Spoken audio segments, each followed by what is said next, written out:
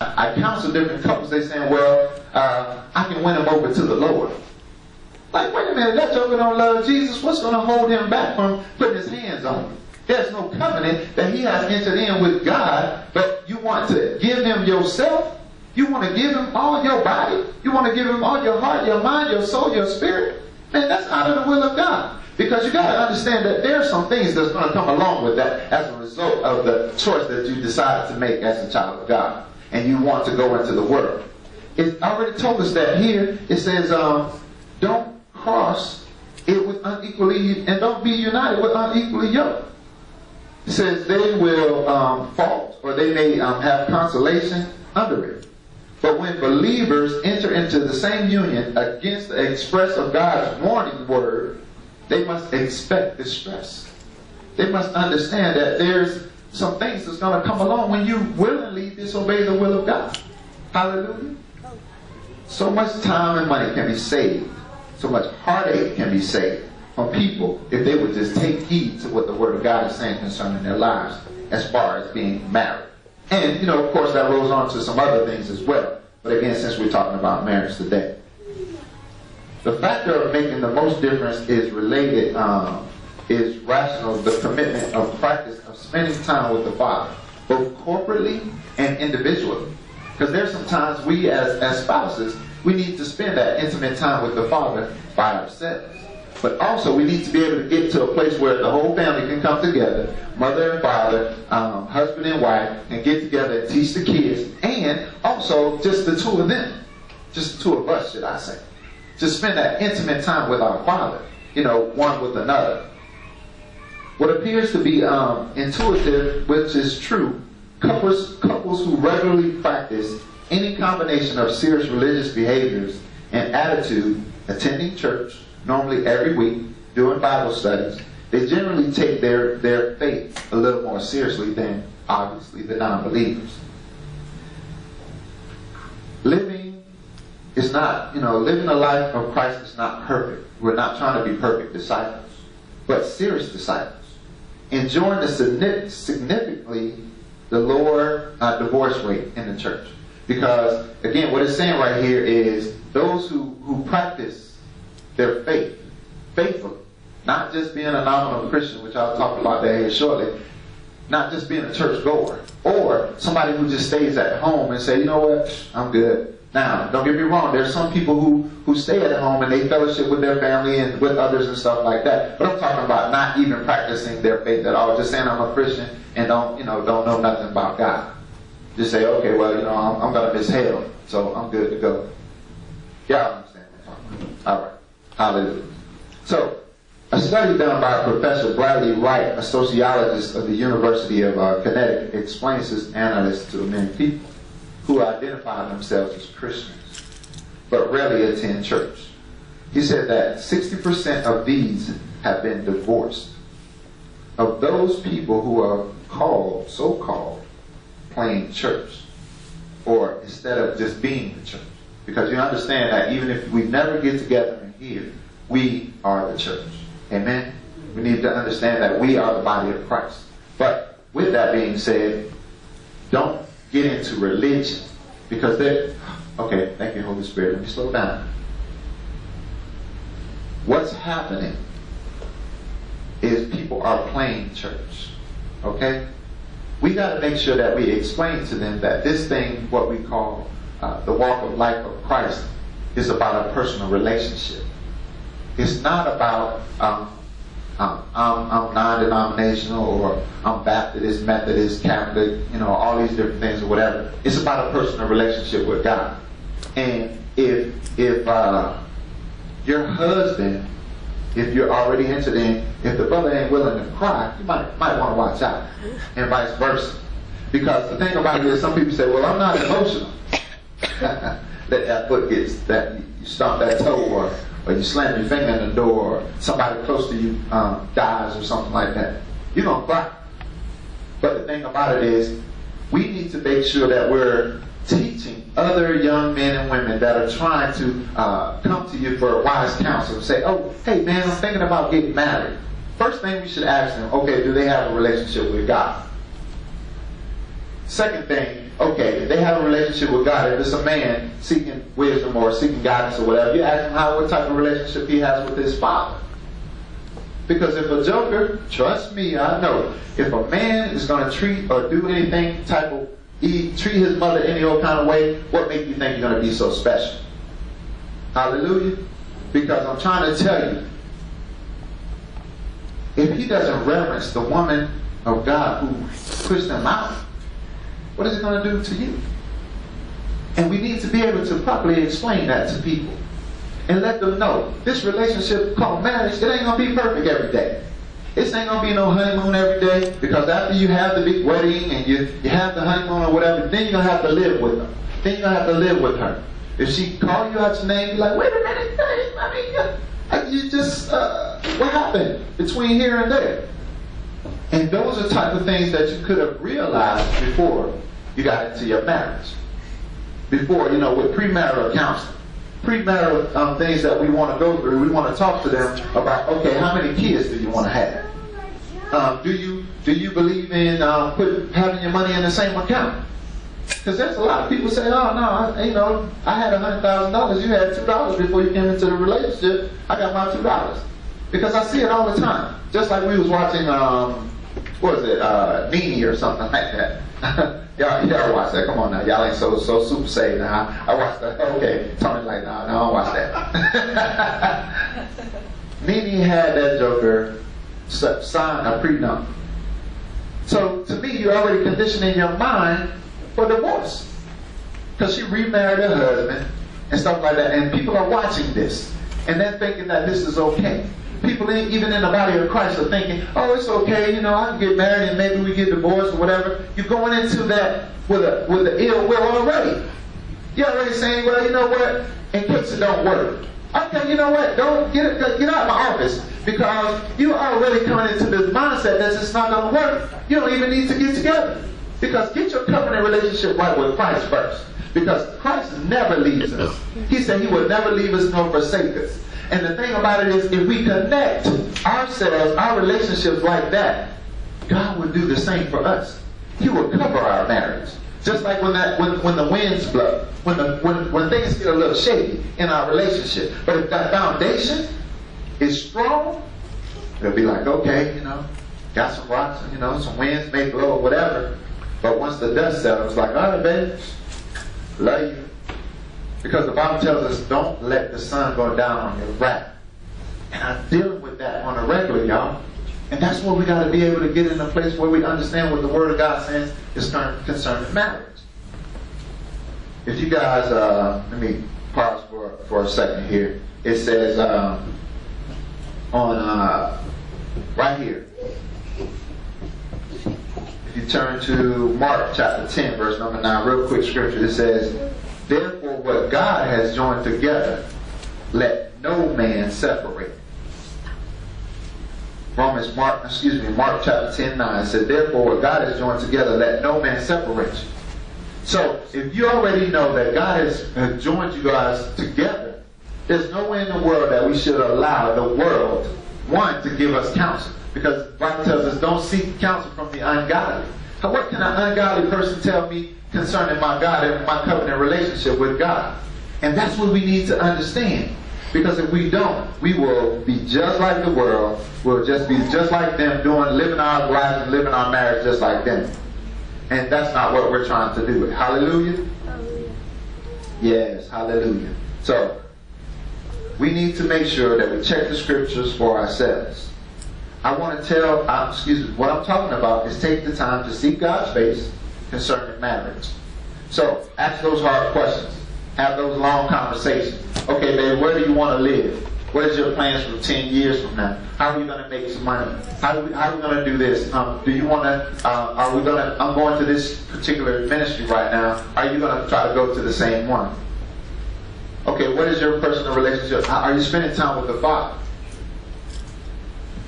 Are you going to um, spank the kids? I mean, it's just so many things that people are, uh, yeah, are you going to spank the kids? Because the Bible says, spare the rod, spoil the child. I ain't telling y'all to abuse your children, but you need to tap that joke, hey, get, get them in line. Because again, you're trying to save their lives. Because the world, they don't care nothing about it. They'll lock them up, put them in a cage or whatever, and say, okay, next. And they don't care nothing about it. And then we're at home now. That's causing uh, ruckus in our in our home. That's causing problems in our home with our marriage because we didn't do take the time out to do what we needed to do to raise our children properly. And now, as a couple, we're fighting, and why we say, okay, well, it was your fault. We blame, you know, point fingers or whatever, instead of taking the time out to do what God called us to do. So, I ask you guys, what is a nominal Christian? You have any idea what a nominal Christian is? No? Okay, I'll tell you. It indicates a position without power or attributes that what God should do with that position. Perfect example.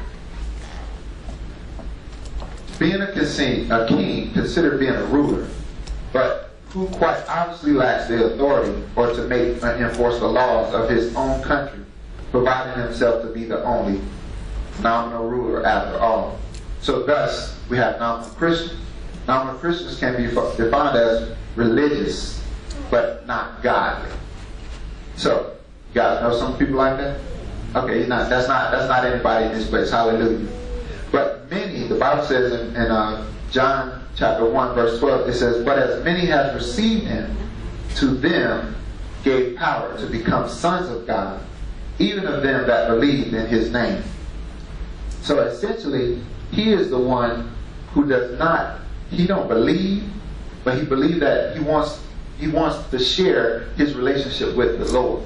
So we don't want to be, or if we see a nominal Christian, we want to let them know you can't share your lordship of your life. You know, God is either Lord of all or not Lord at all. So we got to make sure that we're teaching people, help them understand that Jesus Christ is Lord of your life. Once you give your life to Christ, your life don't belong to you anyway. There's some things that you have to do concerning this marriage. There's some things that you have to do concerning this relationship that would affect the whole family. Hallelujah. But also Matthew um, chapter seven it says that not not everyone that saith unto the Lord, Lord, Lord, shall enter into this kingdom of heaven, but he that does the will of my Father which is in heaven.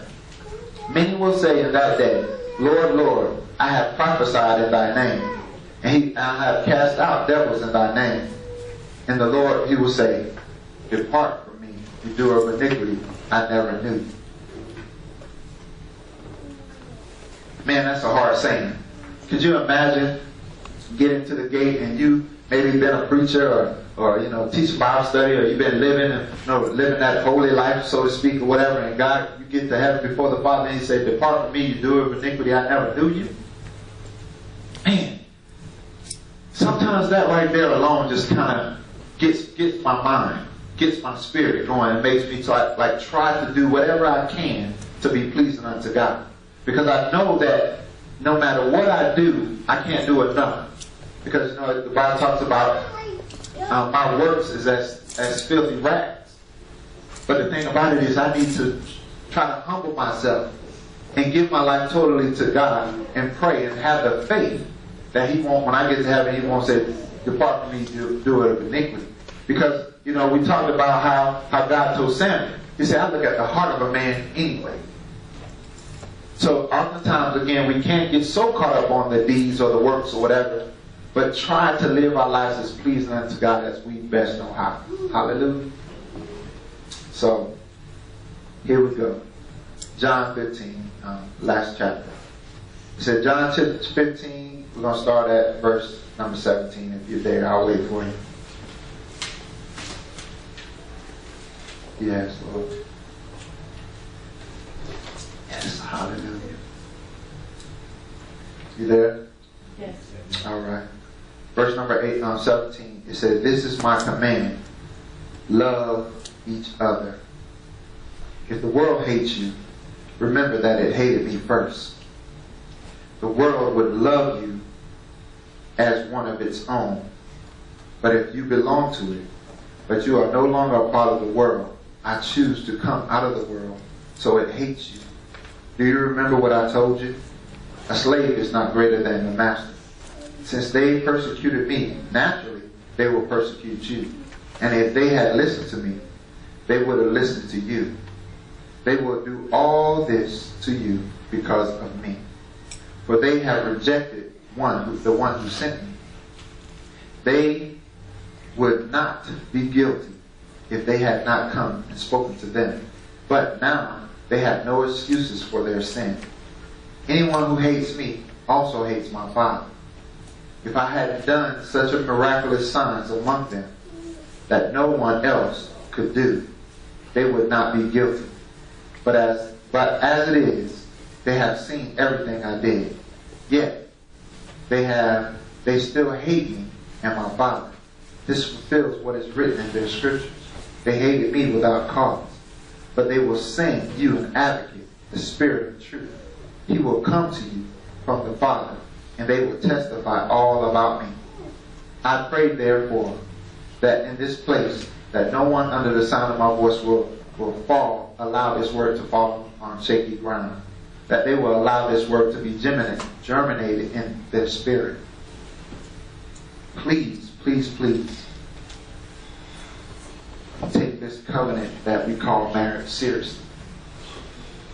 Because there may be some things that, that your spouse or um, someone, a family member, or whatever, didn't quite understand about what happened in their previous relationship. You know, might say, well, I have family members that got divorced that, who were saved, and I know that they were saved. Okay, understand. But now, we need to get to a place where we share the love of God and say, okay, you can forgive them. You can go and forgive them for divorcing your father or divorcing your mother or what have you. Because I shared you guys, I shared story, my story with you. Um, my, my mother wasn't married to my father. And as a result of that, maybe whatever it is that he was doing out there in the street, he was killed. But the thing about it is, we don't want to be in a place where our the ones who we're mentoring the ones who are seeking the godly counsel concerning marriage. Because again, sometimes they think you got to have it all perfect. My kids got to be on the honor roll, or or um, my my wife got to have a, a, job or two, three jobs. My husband doing all these things or whatever. I tell you, if we get that foundation tight, allow God to do what He needs to do in our lives. Share that word of God. Encourage one another. Tell your husband, I'm, I'm to start out with my men. Wives, tell your husband that he still look good. Tell him that, you know what, baby, don't lie to him now. tell that joker he still look just almost just as good as he did when you first married him.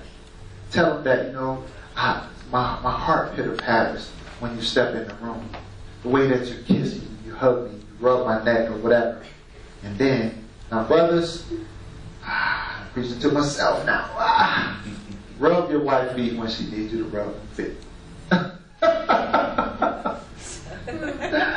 Because I'm telling you, that, that, that goes a long way. Rub her feet. Because sometimes she's so tired with dealing with the kids or dealing with some of the same things that you may have dealt with. And, and naturally as husbands, we, we want, we want some, you know, want that, that, uh, that special attention when we come in the house. But think about all the things that she's been doing. Think about she's paying the bills. I'm talking in my own house. Paying the bills, taking care of the children, washing the clothes, cleaning up after you, making love to you when you need it or when you want it, and even sometimes when she don't want it. And most importantly, being that woman of God. Man, that's. that, I know there's a lot of jokers out there envy that. But husbands, Let's get on, man. Let's let's do whatever it is that we need to do to make sure that our wives are getting what we need. You know, take take your bath. I mean, wash your feet. Do, whatever you need to do. You know, because one sometimes for me, for example, because I can only talk about me. I talk to couples a lot about trying to enter into a covenant relationship with God. But sometimes that husband, I joke, he a lot to Okay, let me, let me, let me say.